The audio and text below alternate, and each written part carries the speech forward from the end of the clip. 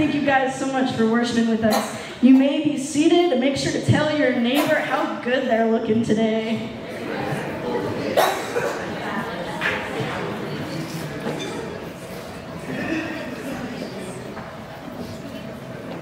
Good morning, everyone. How are you doing?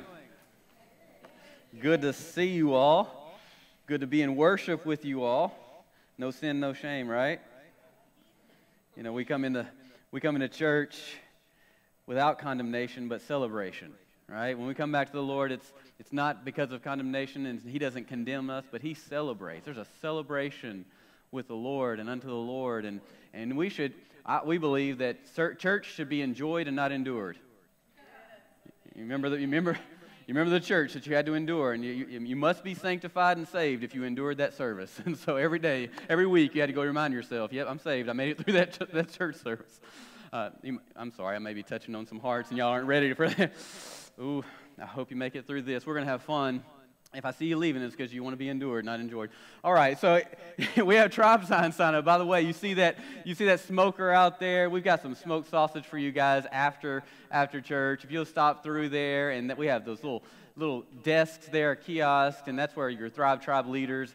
It is. We, we strongly believe in finding freedom, and as part of our our vision statement, we hope that everyone that comes through here discovers, finds freedom, and their heart really is changed for the kingdom of God. And their perspective, the smudge of yesterdays are removed, and some of the guilt and the, the shame uh, from the sins past are truly removed. Not just you know, I can deal with it because I'm saved now, but truly removed from your life and stop, they stop controlling your life. So uh, when we talk about finding freedom, Thrive Tribes is a major avenue for you that we use to get you into small groups to get you growing in one of many subjects so that you can begin to move along your spiritual journey, your next steps of life, with others who are also going through their next steps of life because we're all on a spiritual journey. Uh, I'm going to show you in a moment that we're, we're all on a spiritual journey. We're all moving somewhere, and we're all going in a direction. Some of us may be maybe, just plateaued, sitting down in a pew like lifestyle, and we're not really going anywhere. We're just kind of hunkered in. But I want to I want to light a fire under you through this series and even today to wake you back up and put some put some life back in you so that you can move further along in your journey. So that's why we have Thrive Tribes. You, we need people. Uh, My my greatest growth in my life my spiritual journey happened with a small group of friends. And so even now, I want to make sure I keep a small group of friends around me that are actually going to challenge me and grow. They're, they're wanting to mature. And so I want to keep people like that around me so that we can challenge each other in our next steps of life. And that's what Thrive Tribes does for you. But I, I, you, I see some of you already have your phone out. And so that's great. You're in a great place. I actually want you to get your phone out. And in church, yes, your pastor is asking you to get your phone out because I want to show you a new app that we use so that you can actually always track with us and get stay plugged in and get plugged in. It's called the Church Center app. You download that. We have a, a version of our own. I, I've already downloaded it, so I'm opening it. You find Thrive Community Church, which is probably the, the greatest church on all this in this app. And then, and then go in this church. You're going to click next. You're going to put your phone number in there. They're going to send you a code. You copy that code and pl- paste it in this app, just like this right here. That was where it came from for me. And I'm copying and pasting and putting it in there, and then it opens you up to our Church Center app where you can then discover different things that we have going on throughout the year, throughout the weeks uh, up, up and coming, the months. And it's going to show you groups, it's going to show you events. In groups is where you're going to find Thrive Tribes. In events is where you're going to find a way for you to reg- register for our next steps, which we do the second and fourth weekend during the 1045 service of every month. Right now, there's a next steps going on in our cafe, Thrive Cafe, where people are growing and understanding what it is to have next steps, who, who Thrive Community Church is, where we came from, but then where we're going, the vision, and then also their spiritual gifts, each individual's spiritual gifts and their personality. And so you can even have check ins if you have parents. Parents, you have kids. I'm on the way. I'm late, but I want to check my kids in. You can actually check them in mobily on your way here. So that's a really cool thing. And there it is, next steps. And as we have equip classes, because the church is here to equip the saints for the work of service, that's what Ephesians 4 says, we have equip classes. There's one coming up this Saturday, by the way, October 3rd. You will find it in that location right there in events. And so you don't have to wonder when are they going to give me an announcement. You have the announcements. They're also in our YouVersion. Go in there, YouVersion Bible app. You can find us in the events section, and you can download all of our notes for that week, just like this week, every week. But you want to save them. Tonight we have a kickoff celebration as well because once a month, on the fourth weekend of each month, we do a Love Thy Neighbor. Love Thy Neighbor is we, we get with other pastors, other churches in Henderson County, and we just celebrate worship uh, depending on the style of the house. And so we just bounce around like migrants a little bit, and we're, we're worshiping at different churches in Henderson County. Well, this Sunday, today, we're actually hosting at 6 p.m. Pastor Sergio Tinoco from the United Pentecostal International Church is coming to speak. And he said, Get the people ready because the Holy Spirit is going to fall in this place. And so I said, Well, amen to that. And, and so that's going to be tonight. We're leading worship. We have an awesome dynamic of worship that we've added to our team for tonight, and so it's going to be something special. Then another church is actually paying to have a bunch of uh, wings, hot wings, afterwards to give away to everybody. So it's, a, it's going to be a celebration of a night. We are going to make sure you eat today, whether it's outside or after, after tonight. Well, we are in our series called You Are Here. And oftentimes you've seen this symbol and you've been at a mall or been at Six Flags and you go and find yourself on a map and you're not trying to figure out where you are, you're trying to associate yourself with where you want to go. So I want you to be mindful of this as you're going through this, this message today, and I show you a graphic here shortly as where are you? I want you to identify where are you, but yet where are you going? Where do you want to be? Where do you want to go? Because I've, I've been the last two weeks been showing you how you can get there, what all you have to do what to, to, to get there. Today I'm going to show you how to stay God centered. And so let me show you this graphic. But we've talked about this, this group right here is exploring God. This group right here is becoming, becoming relational with God. They're getting to know Him. We're, right here, these are experiencing God. And then over here, they're God centered. We want to know what is it going to take to become and stay God centered. This, this group right here, they discovered, you know what? I, I, need to believe in Jesus, not just confess Jesus as Lord, but I need to believe. This week, I was able to lead a young lady to the Lord. She had been confessing for many years. She'd actually been in church for many years, but she'd never believed. We talked about that two weeks ago, and I said, Do you really believe that Jesus Christ died for your sins? He hung on the cross, and for three days he was dead and buried, and he rose again so that you may have life? She goes, No. I said, Do you want to? She said, Yes. And so I led her through a prayer of salvation. She had been in this group for a long time in church. All of this is a survey of those who have been in or are in church. Uh, over 180,000 believers took a survey, and this is what was come out, come out of that survey a mass of questions that divided down into four results. So, then they got into relationship. Man, I'm, I'm, I, I understand grace. You know what? I couldn't earn it. It was all just by believing and trusting and receiving the, the beautiful gift that God has given us. Then relationship, moved into discipleship, to understand, understanding I need God's word. And then the discipleship part, as they grow in discipleship, understanding giving to give my life away. We're not talking about money today, so don't close your hearts. We're not talking about money, but we are talking about giving yourself away for the sake of God. Here's the trick, though this is not chronological order. You, you can't say, because I've been in church for 30 years, I'm already automatically in lordship. You may, have been, you may have been in church for 30 or 40 years, and you're still right here just beyond the cross. So there's no chronolo- chronology to this. Because in fact, once you got saved, you actually started right here. Because nothing else mattered in this world the moment you got saved. The only thing that mattered was Jesus is Lord and He's Lord over my life, and I yield everything for His causes, His purpose, and who He is and who He says I am. But things happen, and you start to settle somewhere else, somewhere right in here. And we're going to talk to you how and tell you how to get back to that lordship and how to keep a God centered life. Y'all ready? All right, let's do it. Let's do it. So, how do we stay God centered? We talked about this, uh, this parable a couple of weeks ago. I'm not going to read the whole thing for your sake. Uh, Luke 8 has a, has a representation of that. We find this same parable in three of the Gospels. The Gospels are Matthew, Mark, Luke, and John. And we find this, we, did, we, we read Mark. We find this in Mark, I'm sorry, in Mark, Matthew, and Luke, not in John. So we're reading Luke, and Luke 8 8:15 we're reading what he says about this parable. He says, "But the ones that fell on the good ground." I want you to remember this word throughout the day, good ground. It's important because that's the fourth soil. We've talked about the other three groups. Those are three soils.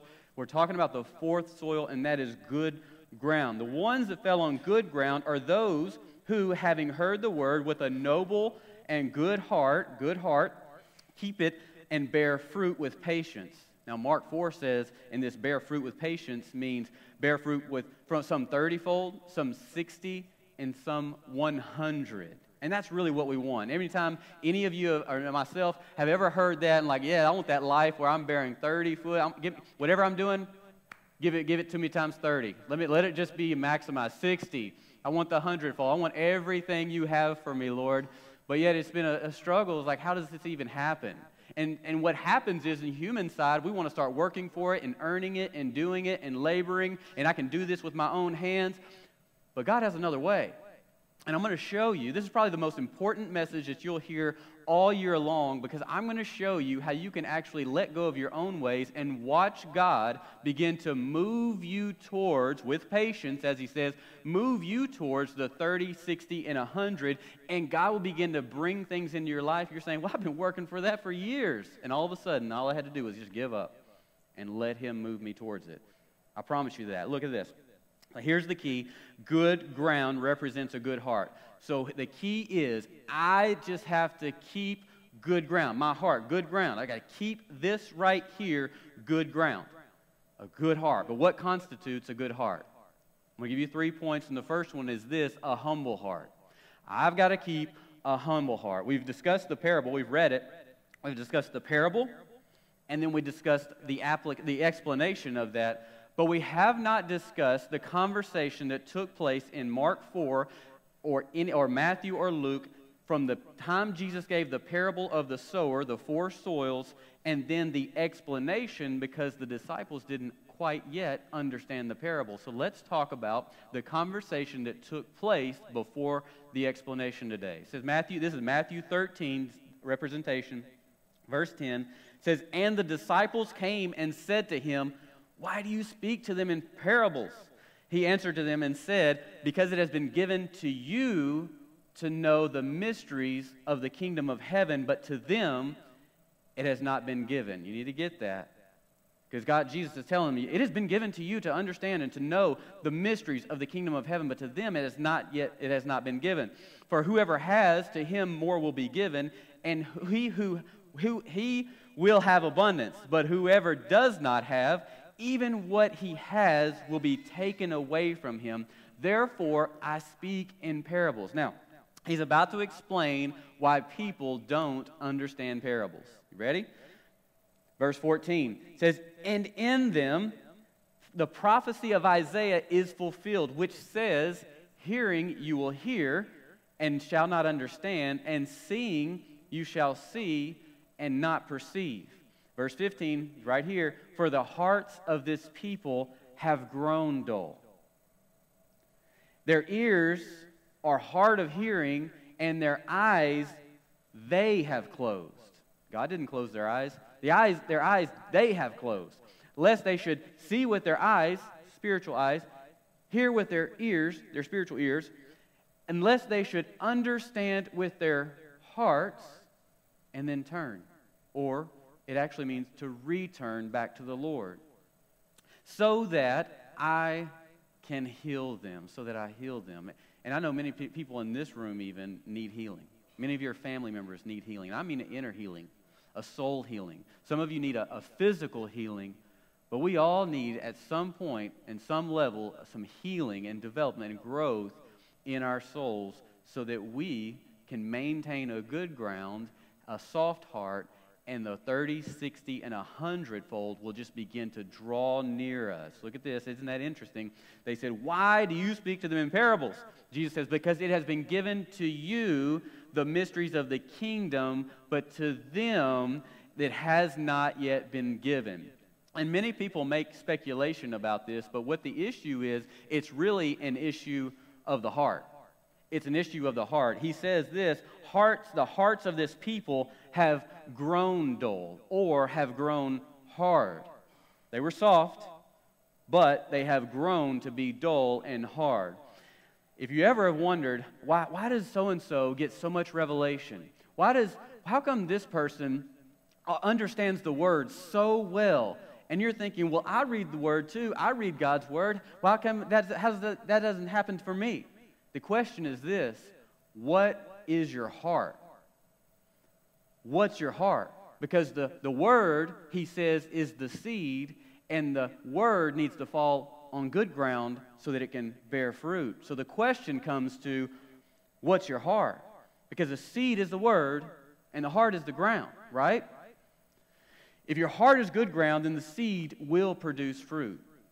So all I got to do is keep it good ground. If the heart, if my heart is soft and teachable, then the seed is going to penetrate and become and bear fruit. Good ground is a humble heart or a soft heart. Look at Ezekiel 36 and 26. It says this, I will give you a new heart and put a new spirit within you. Amen. I will take the heart of stone because we all start with a heart of stone. We all start there and sometimes it returns. I will take I will take the heart of stone out of your flesh and give you a heart of stone. The moment you get saved, he just takes that hard heart that you have, and he says, "Here, I'm going to give you a soft heart so that you can hear me and understand me and you can understand the mysteries of the kingdom. I'm going to give this to you so you can walk in God-centered lordship."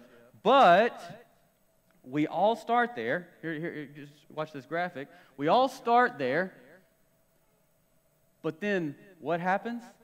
We talked about it last week. The thorns of life. My neighbor is in there saying, Get those thorns out of your leg. Get those thorns. Goes, Tell me about the hogs came through and messed up his yard. And he goes, Boy, they just gave me some thorns this week because I, I, love a good yard. Like, we're just joking about the thorns of life. But really, they signify the issues, the things of life. The cares of this world is what Jesus says. The deceitfulness of riches. They come along. I'm in lordship. God, you're the God of everything. You're amazing. Man, how am I going to pay for this? The deceitfulness of rich, rich, riches, and then the desire for other things. Man, I sure would like to have that. Ooh, I don't know how, man, I, that would be nice to have. The cares of this world, Lord, I just don't know how this world is ever going to change. Well, under lordship, you understood that you are the change. But all of a sudden, it became too much. And what happens? Persecution. Persecution comes along, tribulation. These are the things. These are the things that took, that destroyed the seed from the soil over time, as Jesus was saying. And so we settle in somewhere around here. Or this, we get saved. Man, we're in lordship. Everything is good. We're like hallelujah all the time. And then all of a sudden, something happens and our heart gets wounded. And we say, uh uh-uh, uh, that ain't ever going to happen to me again. Harden. I will never put myself in that situation again harden. And the more we make this decision, we harden our hearts, we harden our hearts, and we close our eyes to the mysteries and the understanding of God. Because we've begun to protect and the harder our hearts get, and the harder the ground gets, the more the seed of the word, when it's planted, when it's sown, stays on top of the ground. And Jesus says, The birds of the air come and steal the seed, lest, it, lest we believe, lest it gets into the good soil, the good ground, lest we believe, and our lives are changed. And he says, Who's the birds of the air? Satan. Satan loves for you to have a hard heart so that you can come and steal the seed, the word, the revelation that God is trying to give you so that you don't change in your life. Your life doesn't change. Your family stays burdened, your marriage stays destroyed, your finances are messed up, your kids' life, your relationship with your kids is all jacked up.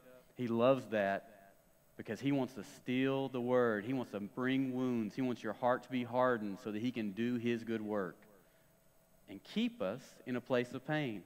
And when you make that decision, you are making a decision to close your spiritual eyes and harden your heart. And you'll read this book and not know the mysteries of this book because your heart has now become hard yet again. These are Jesus' words.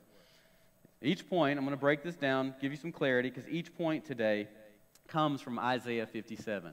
Isaiah 57 15 says this For thus says the high and lofty one, who inhabits eternity, whose name is holy, I dwell in the high and holy place with him who has a contrite and humble heart.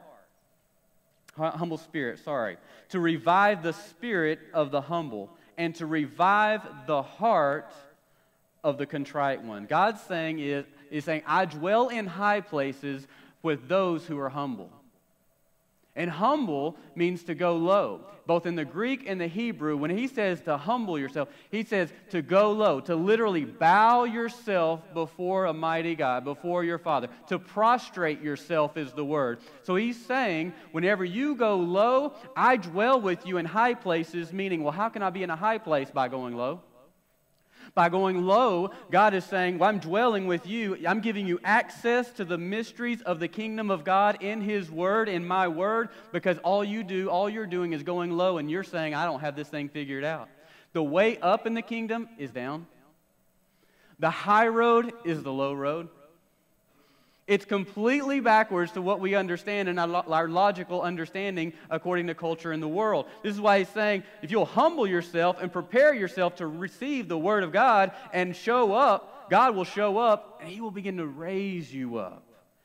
It's in that raising up that He begins to lift you, draw you, and order your footsteps towards the 30, 60, and a hundredfold. Look at this. Psalms 10 17 says, Lord, you have heard the desire of the humble you will prepare their heart. But what is he preparing their hearts for?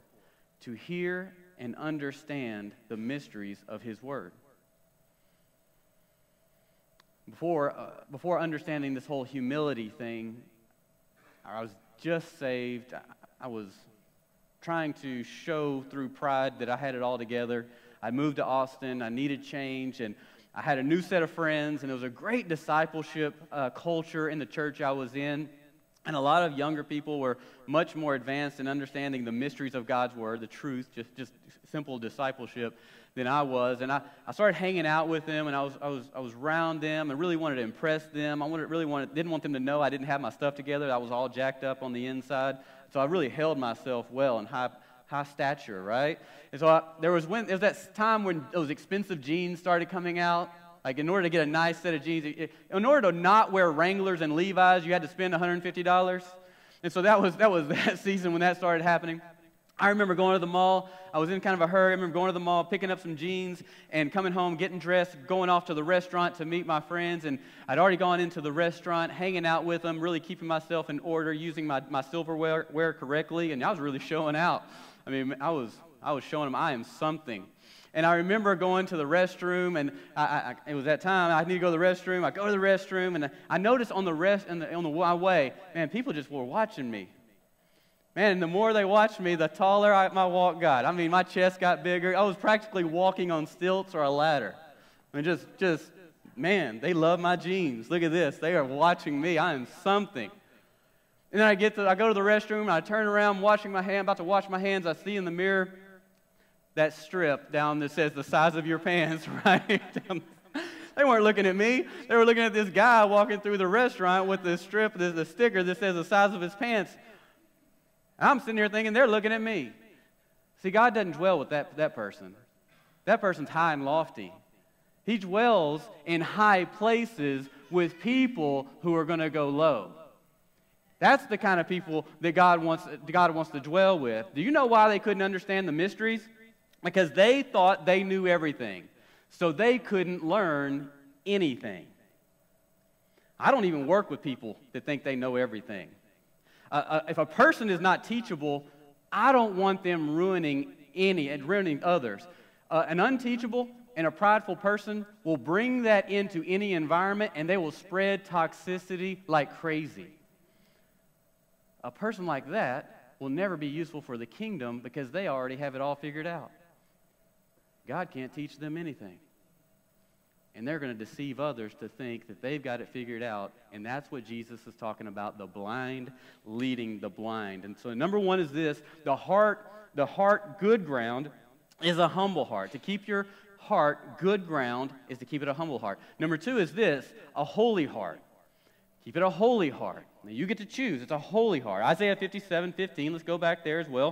It says, For thus says the, the high and lofty one, who inhabits eternity, whose name is holy. I dwell in high and holy place.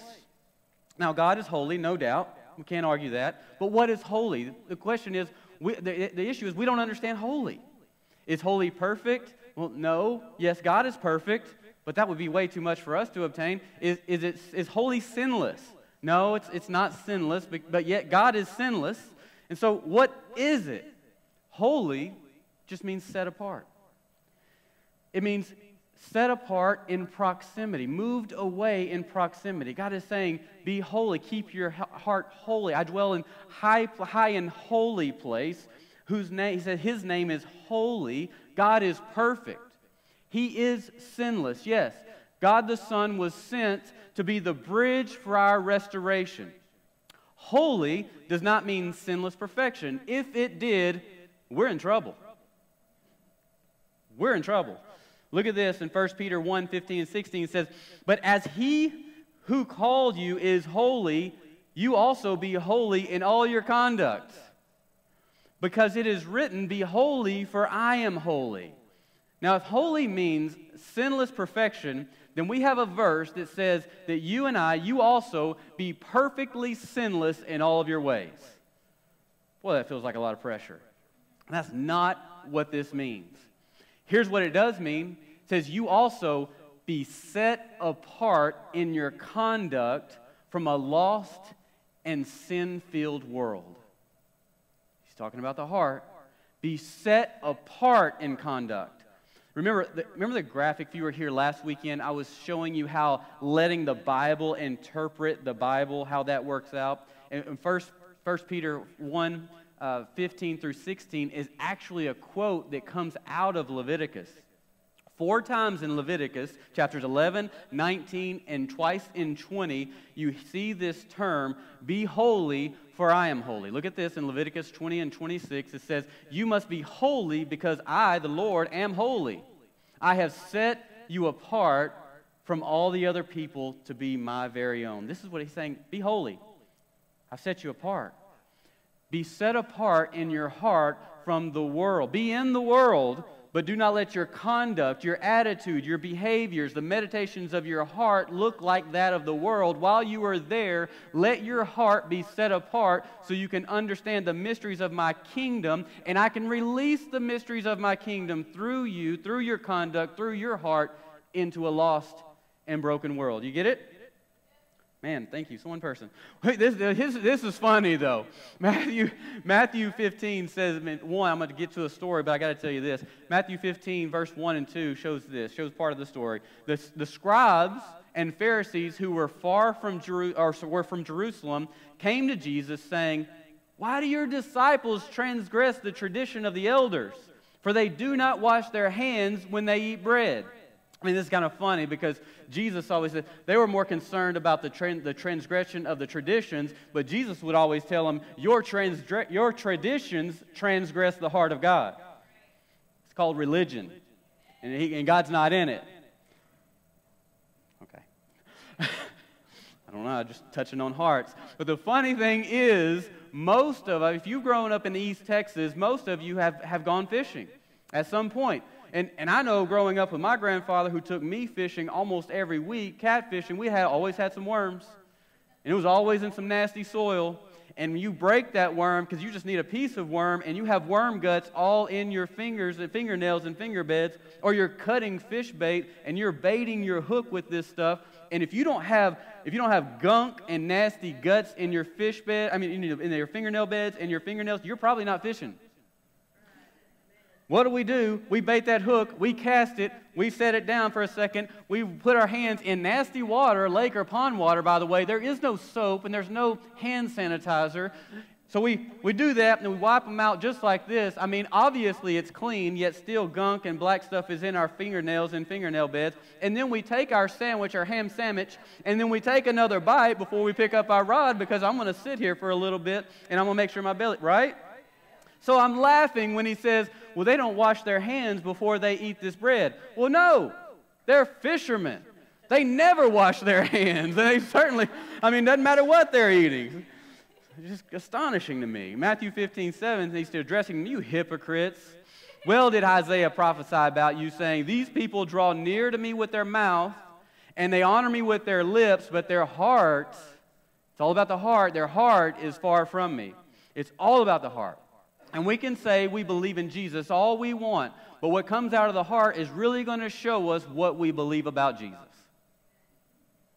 Matthew 15, 12 says this Then his disciples came and said to him, Do you not know, do you, or do you know that the Pharisees were offended when they heard this saying? I can hear Jesus literally saying, I don't care. And it's, the reason is, it's usually those who are doing lip service only are the first to get offended. I'm thirsty.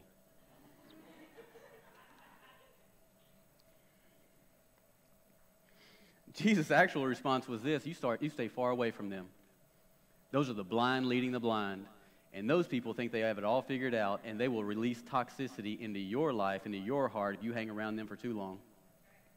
That's exactly what he said. So the disciples still don't get it. Yet, now they were, they were notice they were talking about food and eating. I'm going to bring you back to that. Ham sandwich, dirty hands, talking about food and eating. Matthew 15, 15, 20 says this.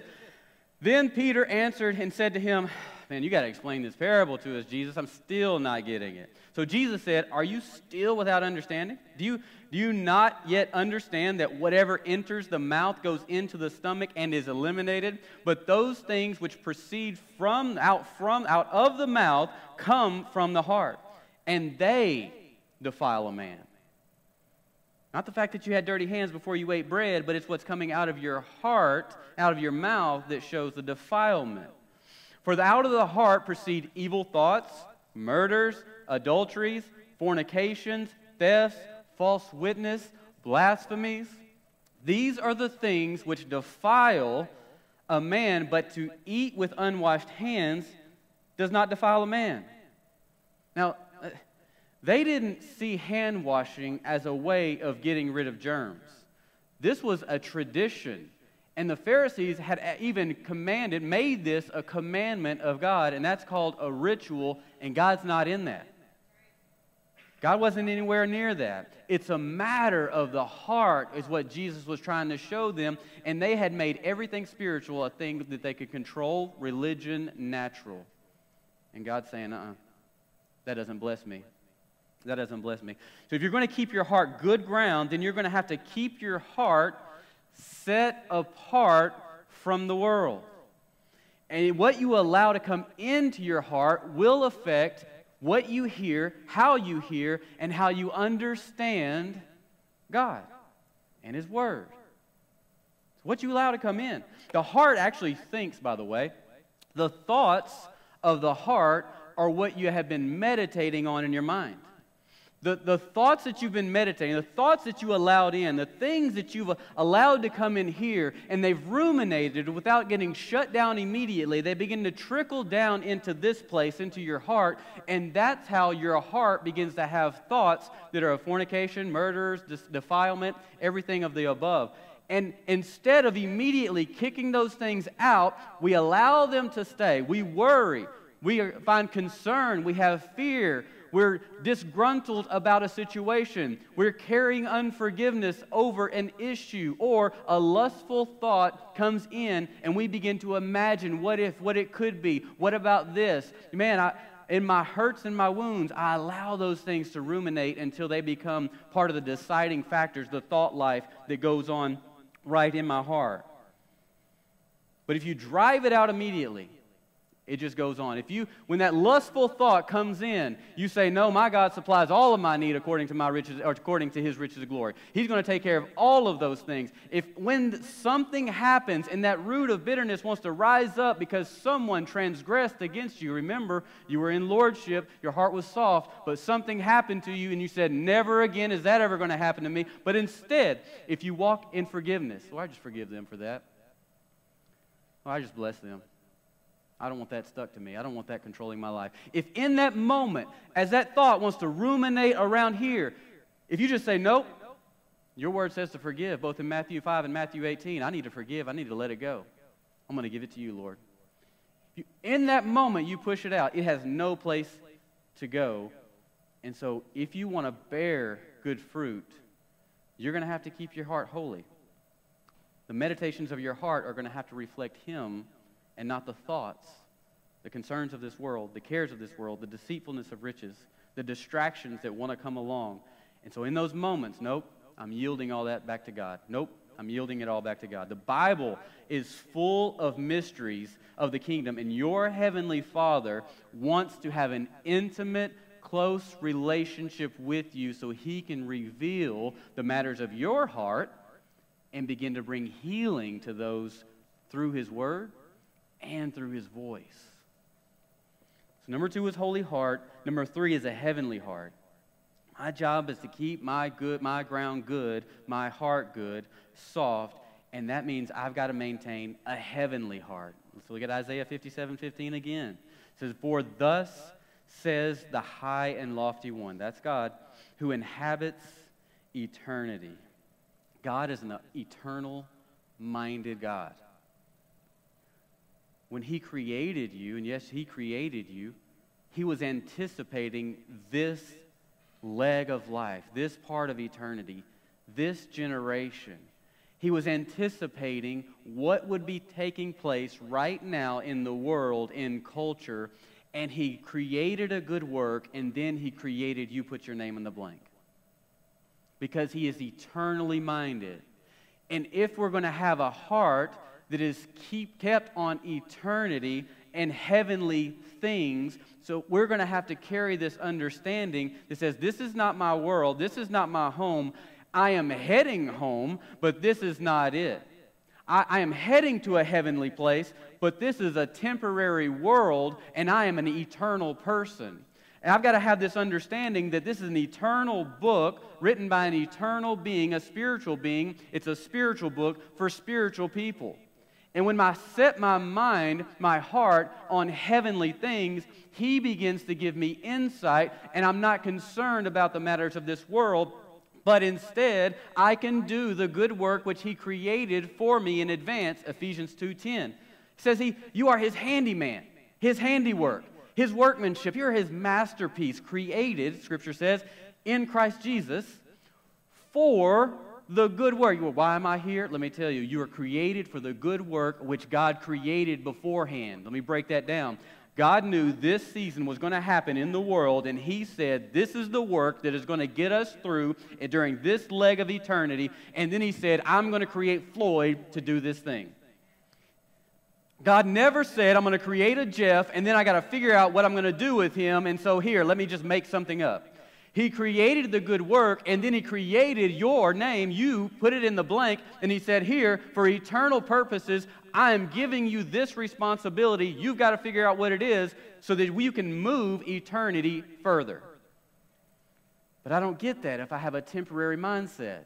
If I'm just concerned about the 80 years that I'm going to be here on life and what am I going to do? How am I going to do this? Who's going to pay my bills? How's this going to work out? Who am I going to marry? How, when am I going to marry? How many kids am I going to have? I can't think about eternity whenever that is the ruminations of my mind that gets in my heart and begins to drive me and control all of my decision making.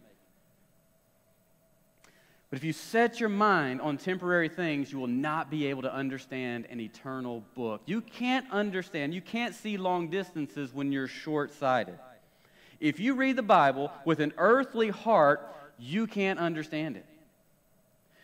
But if you read with a heavenly heart, God will open your understanding to the mysteries that He has for you to discover because as He does, it gives you revelation. And this is how He begins to order your footsteps towards the abundance with patience, He says, or the 30, the 60, and the hundredfold.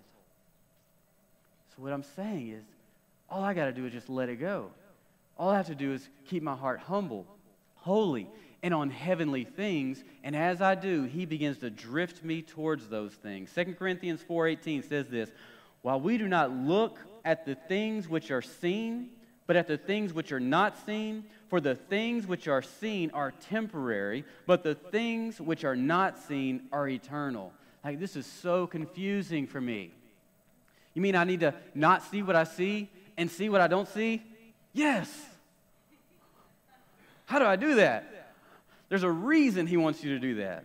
Because he wants you to be able to change the things that you see by living from a place that you don't yet see.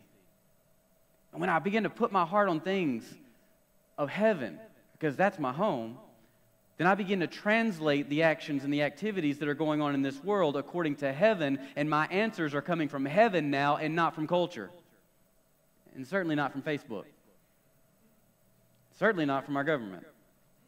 Colossians 3 says this If then you were raised with Christ, remember, he, he, see, he sits in high places with people who are low in heart, who are humble. And then he's saying in Colossians, If then you are seated with Christ, you are raised with Christ, seek those things which are above where Christ is sitting at the right hand of God. He's saying, meditate. Let the meditations of your mind and your heart be of things or where Jesus is at the right hand of the Father, because with a lowly heart and a humble heart and a heavenly minded heart, you will actually be giving access, understanding to the revelations, as I would say, revelations of the mysteries of God's kingdom and now you'll be able to live life while all hell is breaking loose. You'll be at peace, perfect peace, because you know who your provider is.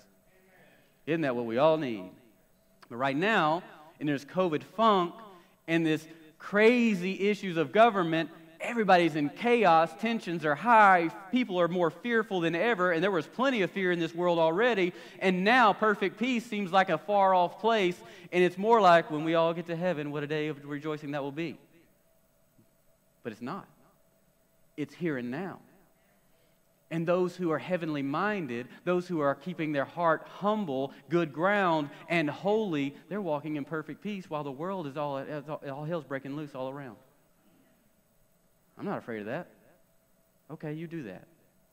Okay, you get surrendered by all that stuff that's going on in the government. I'm not afraid of that stuff. I know where I come from, and I know where I'm going, and I know what guides my decision making. And it's not culture, it's not social media, it's not even my finances, because I live from a place that's right here that shows me another place. He says, set your mind, verse 2, set your mind on things above, not on things, not of things on earth. When we set our minds, when we meditate on eternal things, then those thoughts become our heart. And then we can understand this thing when we begin to open it up. And it's like, oh, that's what he meant. Oh, that's, and then the revelation and the inspiration starts to take root. Now, Mark 4 talks about three words that are very, have been very important to us. So I want to remind you ground, seed, and fruit. Ground, seed, and fruit. I want to show you another passage in Scripture that talk about these three things. Isaiah 55:10 says this: "The rain and snow come down from, from the heavens and stay on the ground to water the earth." That's the heart, the ground. They cause the grain to grow, producing seed for the farmer and bread for the hungry. Now, watch this. It is the same with my word. I send it out, and it always produces fruit. It will accomplish all I want it to, and it will prosper everywhere I send it. Do you know how God fulfills his promises in our lives? and how the abundance comes along. The word produces the fruit. I just have to keep my heart good. And when that thing happens, I don't say, I'll never put myself in that situation again. I just say, Lord, I forgive them. They know not what they do. Lord, I can't imagine what they're dealing with if they have to treat me like that. I can't imagine what they're going through in their own lives, what torture they've gone through to make them think that they have to treat me like that, bless their hearts, Lord. You know, in East Texas, we say, bless them, bless your heart. And that really means you're an idiot, right? If y'all didn't know that and somebody's been saying, bless your heart, translation right there. And then just bless them back, you know? Bless your heart. bless your heart. Amen. I, I, don't ha- I don't have to produce the fruit in my life. All I have to do is keep my heart tender towards the Lord and keep it good ground, and the Lord will sow good seed. He will sow the seed, the word, into my heart, and it will trickle down into my heart, and it will open up the, the fertile places, the soft places, the rough places, even, and begin to shine a light in the places He wants to give me revelation. And in doing so, He will change my life, change my mindset, change my heart and He will begin to bring situations towards me that I've been laboring for and exhausting myself over. That He begins to do it. I keep my heart good. God sends the Word. The Word does the work. And God's Word says He even waters it so that it provides even more growth. Wow. Let me show you another analogy or symbolic or parabolic uh, words that you need to understand. The next verse says, You will live in joy and peace. There it is. The mountains and hills will burst into song, and the trees of the field will clap their hands. You know the trees of the field are? You, that's right, you. Scripture says, Psalms 1, it says, the, the man who meditates on the word is like a tree. Now, you've never driven down the road and seen the trees just clapping their hands. I'm so glad you drove by today. No. And it's not the lie that, the, that some have said, well, that means whenever the wind is blowing, the trees, the oak trees, or, the branches are shaking and they're clapping there. No, that's not what it means. God is saying that you're gonna, you are, you are going to be raised up and you are going to begin to clap your hands because you are now able to find joy and peace in your life. And look at verse 13. It says, Where once there were thorns, remember last week we talked about those thorns. Once where there were thorns, cypress trees will grow. Amen to that. Yes. Yes. So I don't have to worry about the, the word, the, the words being choked out of my life if I keep my heart good, soft. Where once there were thorns in my flesh, cypress trees will grow. Anybody ever been to Lake Caddo or Louisiana Bayou or Florida or Mississippi? What kind of trees grow there? Cypress trees. Why? Because they love water. And what is water? The Holy Spirit, His Word, is our rivers of living water, and you will begin to thrive off of those when you can actually understand them because you kept your heart good. Just keep close. And then 13b, this is what we all want. And we get that revelation. We're staying close. We're, we're being watered by the Word and by God, and we're growing from thorny to strong and cypress tree. And we, we want this thing. It says this in 13b these events will bring great honor to the Lord's name. Sure, we want to bring honor to the Lord's name. Sure, we do. They will be an everlasting sign of his power and love. If we just, he's saying, if we just do this thing, we keep our heart good and we allow his word to penetrate our hearts and bring revelation and change us, he will not only move us towards the, abund- the abundance with patience, the 30, 60, and 100, but we will see the power of the Holy Spirit, the power of a holy God, move through us into the lost and the hurting and the wounded that are in this world. We're staying set apart in heart while we're in proximity in physical nature. And here we are ministering to their needs because we have revelation and inspiration. And in fact, we don't know otherwise because we're set on heavenly things. And we're bringing heavenly things into this earthly situation, and we're showing the world that things can be different, showing them a hope that they don't have. We're showing them the power, he says, his power and his love. And love just overcomes us when people, broken people, are before us, and we can't help but to love on them because we see who we used to be while we were deceived and our hearts were dull compassion fills our souls. And that's when His power, the gifts of the Spirit begin to lift up, and all of a sudden you start to hear things like, Where is this coming from? But this might be a word for you. And it breaks them just like that, because nobody could have known that except for God. and all I did was stay close to the Father, keep my heart soft, be good soil, humble myself when I want to be prideful be holy, be set apart in my thinking, not look like the world. Lord, what is it? What is it you say? Here's what I feel, but what do you say? And then, then I just live from there. Isn't that wonderful? This is the most important message you could probably ever hear in your whole life. Because I just knocked down all the lies that you've heard your whole life that you got to work for, you got to earn it, you got to strive it, you got to do all these things. No, there may, come, there may come some work with it, but all I got to do is allow the Lord to do the work through me. And when I do that, I'm operating in His rest. And He brings me His best, and I'm just laboring with Him in all things. And I don't have to worry about protecting myself. I don't have to worry about security. I don't have to worry about provision because He will supply all of my needs. And He begins to drift me towards the purposes, the calling, the identity, everything that I so badly want that would have choked me out with those thorns. I want to pray for you. Because maybe, just maybe,